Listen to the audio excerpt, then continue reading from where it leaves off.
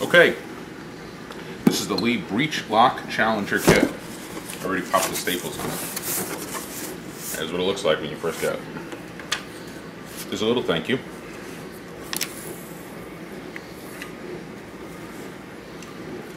Powder measure. And uh, why did I get the Breech Lock Challenger and not the Classic? Because it's my first time attempting this and I figured if I like doing it that much and I go that crazy then I can always step up.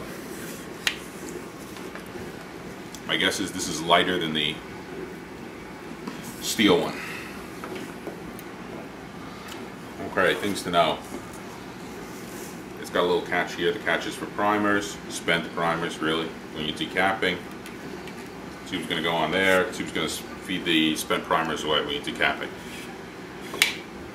They have a decapping and resizing die. It does the two of them at the same time, I think. So I also got for another 12 bucks a die that just does decapping.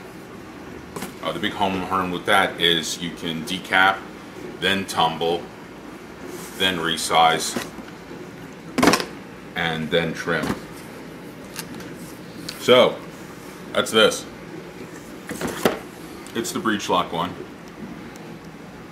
So you can just drop in the little, well, we'll get to it in a second. Safety powder scale. This is the thing that whenever you look at the reviews, everybody hates. Not sure why. I imagine I'm going to find out.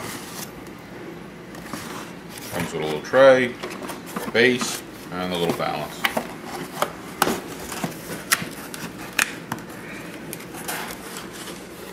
So that's that. Magic paper.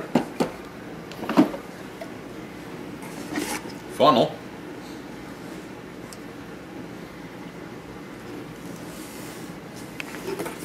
Uh, the bar, which will eventually go into there, which apparently everybody complains the knob comes off. Uh,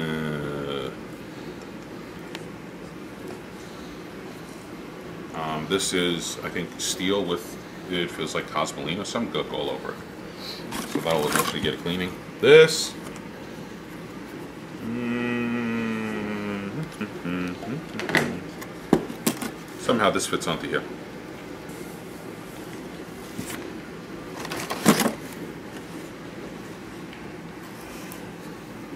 Case conditioning kit. Primer pocket cleaner. Oh, this is going to, after you trim them, this is to deburr the inside. Uh, and the rest of it is a big guesstimate. Uh, that's to clean out the primer pocket. I still have some concerns that when I actually tumble the stuff without the primers in it, that I may wind up with uh, media inside the little primer pockets. So hopefully that doesn't happen. I did what everybody else did for the primers. Uh, for the media, went to Pet Center or Petco, one of those pet places, and got uh, lizard bedding, which is apparently crushed walnuts. Hand priming tool. These are all the little bases or shell holders for it. The cover for this.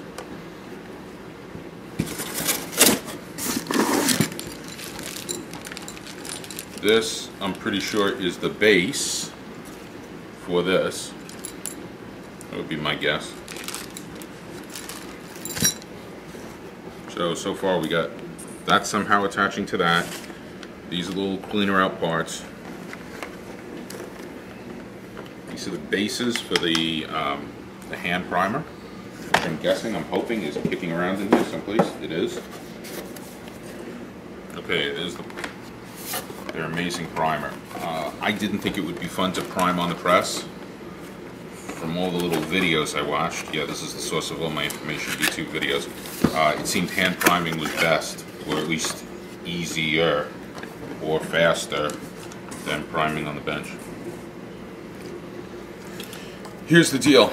The primers come in a box that matches this, similar, similar sized, so let's see, open, open.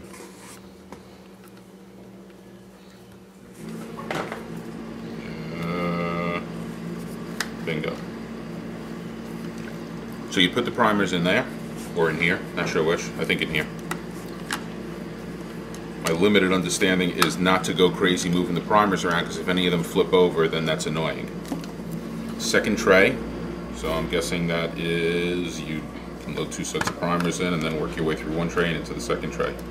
How does it come out? Don't really know. Big thing that everybody said was to grease this, so that's something I got to get around to. And then the die sets that we saw before, the bases, I'm guessing one of them is in here for 223 and well that's about all I'm reloading right now. Maybe 30 6 but the dies I ordered are all for 223 so this one dirt simple. Throw a case in that's been deprimed and hopefully all cleaned and that kind of good stuff already and then push that down pushes a primer into there. Pushes a primer into the case. So those that goes with it an extra one goes with it um, this is for this this is all for this. Uh, resizing lubricant. That looks like fun. And that's the magic. There's nothing else in there. Things that I had to order separate in order to actually get all this going. One, you need at least one die kit. So I ordered dies for 223. So you have your choice. Each of them comes with three dies. Lee's a little funky this way. There's two sets, three dies each. So two, two, three. You can either get their Pacesetter or speed loader or something like that, Pacesetter. Uh, that's a set of three dies. That includes the resizing die, factory crimp, and a third die that I forget which one it is. I think the, the one to seat the bullet. So big one is it includes the factory resize. Or you can get, I think there are other kits, the Premier kit or the Premium kit. It's the yellow box one. The yellow one includes the collet resizing, so you don't have to resize the whole bullet, the whole shell, just the collet, the top part. Uh, but it doesn't include the factory crimp, and everybody raved about the factory crimp. Just as the factory crimp is cheaper when you buy that die alone than the collet resizing crimp, which was like 20 $21, whereas the factory crimp thing I think was like 12 I opted to get the kit that included the collet resizing, and then I bought the factory crimp separate. So, dies that are coming. It's a three set kit. It's got a full size, a factory crimp, and a third die. Or a full size, a collet crimp, and a third die. And then I got the factory crimp. So four dies total are coming. One's in a three set, and then there's the fourth one. What else is coming? Uh, trimmer. They have a really cool trimmer. I mean, they have a, a, dirt simple trimmer that you can do by hand, and that, that looked too much like work. Uh, they have a cool trimmer that they just came out with. It actually mounts right in the top here. You bring a shell up to it, and it's got a little crank on the top. That was like another $12. This thing's like the land of Chinese food. It's like another $10, another $12, and before you know it, you're up another $100. This is about everything. Uh, about the only thing that anybody seemed to have a concern is that this was cast aluminum and you can get, if you go for their classic, it's much heavier and stronger. Right now all I'm doing is 223. It shouldn't be that tough a case. If I have grief and I eventually want to move to something else, I can always change out the press and still use everything else. Uh, something that I might get down the road according to reviews, a better scale or an automatic one that just trickles the powder in on its own. Other than that, that's it. Any questions? Any opinions? Any advice? Just leave it in the comments. Thanks.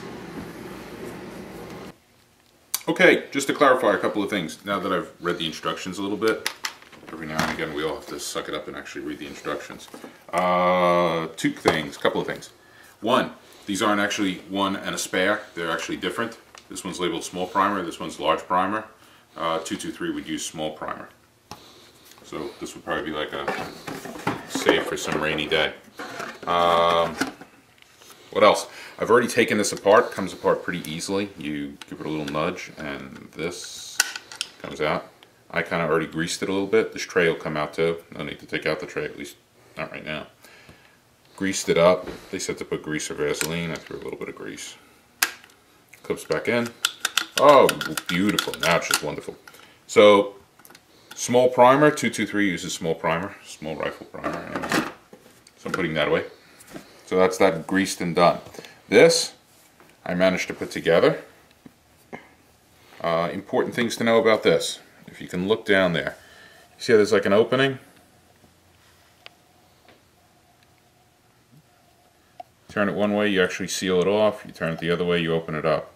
Uh, that's their big innovation, well, these big, big innovation. I'm guessing all of them do that because it's too simple a feature not to.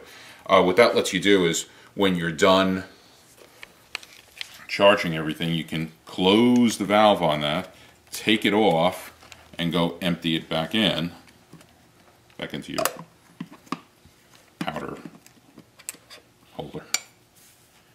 And you don't have to worry about it any spilling, and you don't have to worry about just storing it in there, which wouldn't be too good. So, that's that. I've mounted it on there. There's a special screw, third screw, to go into there. No, it doesn't seem to impact anything. You would think the screw's long enough that it goes through, that some bad thing might happen, but it didn't. Screwed in, don't tighten it too much because most of this housing is plastic. This is metal, but it's plastic connected to metal, so. With this all secured, it comes with two more screws. So if you've got so much space in your world that you can actually mount this permanently, God bless you. I'm not so lucky. Uh, but I'll figure out something to attach it to. That's the story of that. Let's see, any other final things? Oh, here's how this went together. Yep. Sorry, I'm bouncing around. Back to the primer thing. These are all the little case bases, or case holders. For this, I chose number four, which is good for 223, and there's a little reference sheet in there that tells you. All you do is push this puppy down a little bit. So I can push it down in the hand. You can see that. So push it down, drop this thing in, and you're all set to go. Now every time you slide a case in, push, two things happen at once. One, it primes the case that's in there, and number two, it brings the next primer kind of up and on deck. You'd actually hold it this way. So as you can see, the pin here brings a primer into like this little holding pen. And then when you release it, that primer drops in there, assuming you're holding it like this. Hold it like this, it won't work.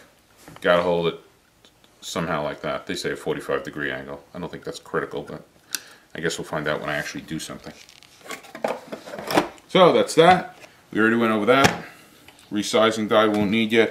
Um, I put this together and I didn't do that in the video, but take the hint. There's only three pieces. It's a bolt, a washer, and tighten it a little bit. There's four spots for it to fit, little dimples. It'll go in one of the dimpled areas. Can actually go on a non-dimpled area. I don't know how productive that would be. There's a little ending thing. I'm guessing that's for there. Um, I put a tiny bit of grease on there. That seems a tiny bit nicer. Maybe that's just in my head. Oh. They talk about the quick change system, so they say it's it's their, think, breech loading. And what they mean is kind of like the way a breech on a, um, on a big gun is part threaded, or at least not technically threaded, because they're not at an angle. Space thread, space thread. It drops into a similar arrangement in here. So drops in. Push this little stopper thing to kind of hold it until you pivot it around. Eh, eh. Right, let's try the other way it might be easier. The tightness I'm guessing is because it's new because I've already had it in and out once or twice. Well, you'll have to trust me that it does pivot around and lock. There's a dimple here, the dimple locks there. Let's see if I can get it go this way.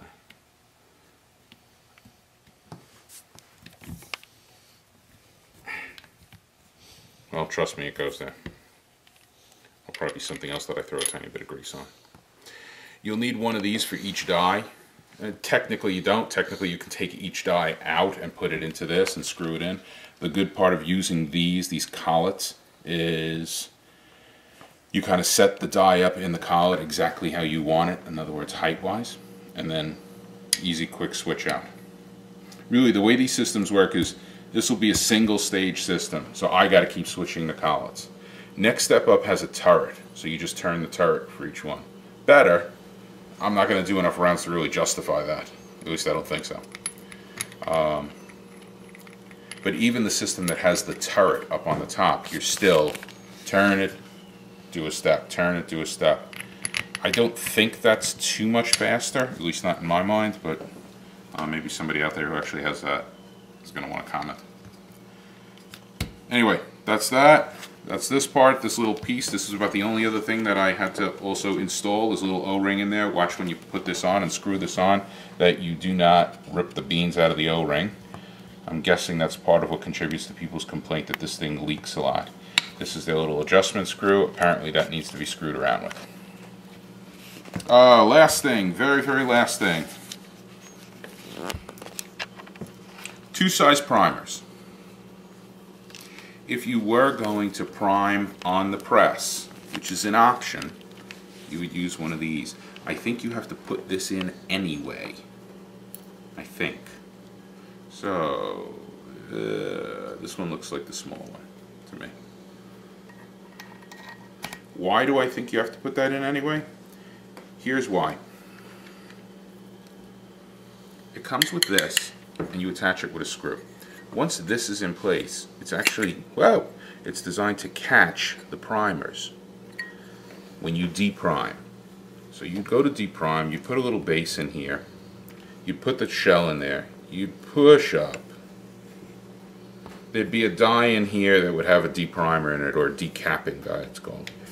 It's like a big needle. The needle pokes down, pops the primer out. The primer, left to its own, if this isn't in, the primer would just kind of tumble down this channel and fall out here. Make a big mess. It wouldn't bother me too much, but maybe after 300 rounds you get a little PO'd because there's 300 primers all over the floor, spent primers. Take this and put it in even if you are not using it, I think, and it serves this function. As you deprime, the primer is going to fall down the channel but kind of sit in there. As this comes down, primer will fall the rest of the way down the tube. I'm going to turn it around for you. As the tube comes back up again, primer kind of falls out of that hole, if you can see that hole. Falls into here, falls down into there, and if the magic tube were attached here, it's going to fall down that hole into the tube. I guess you could put a garbage pail down there. Or a garbage bag. And then uh, change the garbage bag every 10 million reloadings. That's the magic story. I'm going to try and figure out a way to temporarily mount it. Yes, I know Lee has a mounting system that lets you put these in and take them out. It still leaves some steel brackets on your, your work surface. Uh, I guess this is good if you have more than one of these, maybe for for reloading more. I don't know. Uh, but that bracket was 30 bucks. I wasn't interested in paying the $30, so I'm going to figure out some way to mount this that it is removable. That's it. Leave a comment. Thank you.